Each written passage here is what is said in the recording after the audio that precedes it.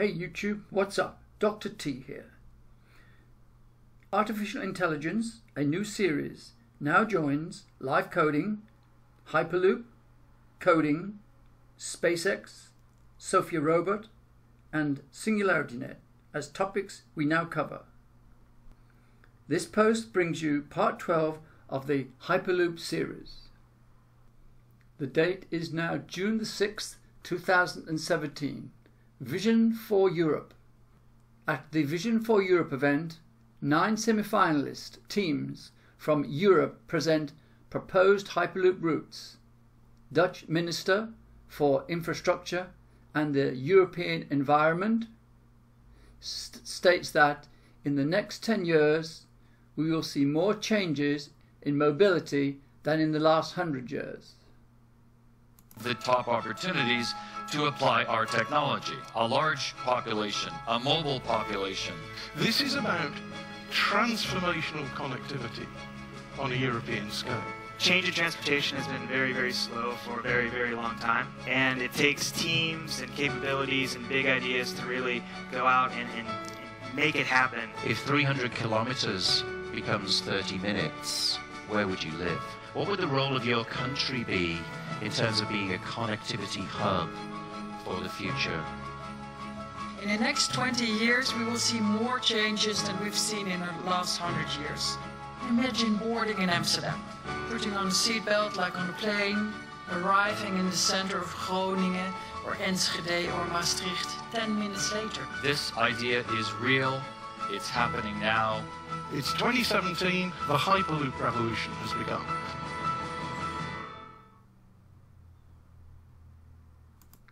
Hyperloop One's vision for Europe comes into focus at the third Global Challenge Summit. In the next 10 years, we will see more changes in mobility than in the last hundred.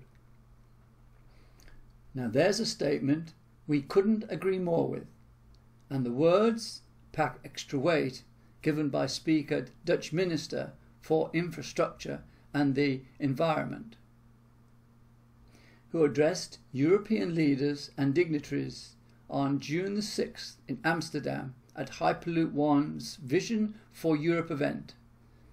The minister knows what she's talking about, having led the Dutch government's efforts over the past eight years to revive its transport sector and set new standards in autonomous vehicles and smart mobility. Hyperloop could be a game changer, said the minister. Fast, quiet, innovative, sustainable, and thanks to solar power, it could be the world's only net positive sustainable transport. The event today in Europe was our third Global Challenge Summit, following a standing room only Vision for India event in New Delhi in March, and a Vision for America event held in April in the US.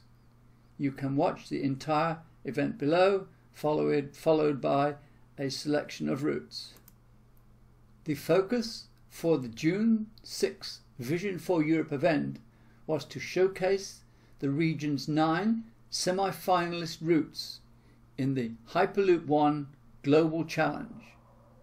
The proposed high-speed corridors are in Germany, Estonia, Finland, Spain, Morocco, Corsica, Sardinia, the Netherlands, Poland, and three in the UK, Scotland to Wales, a Northern Arc route connecting Glasgow to Liverpool via Manchester, and a north-south connector between London and Edinburgh.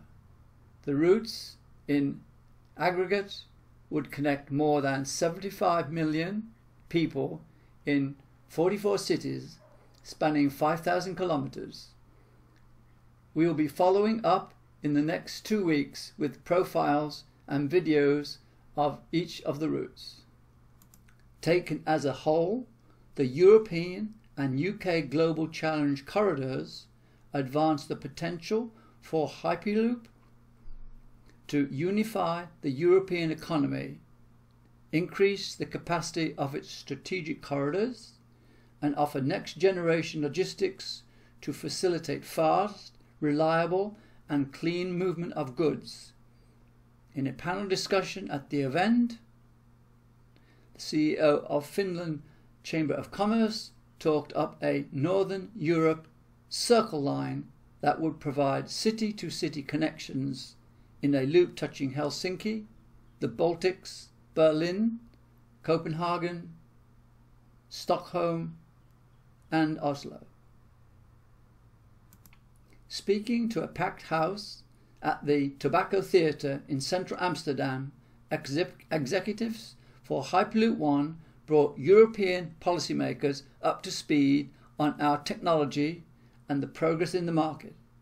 Hyperloop One is the only company in the world that has built a fully functional Hyperloop, the first new mode of transportation in more than a hundred years. We see Europe as a high potential market for Hyperloop as its leaders embrace new ideas of transportation and commit to big infrastructure projects no other region in the world, like no other region in the world. We completed the last section of our 500 meter DevLoop test track in Nevada in April and are looking forward to our first public demonstration, Kitty Hawk, in the coming months, proving our technology works. The next step after that is to work with governments around the world, Europe included, to build a proof of operations facility where we can validate our system and win regulatory approval.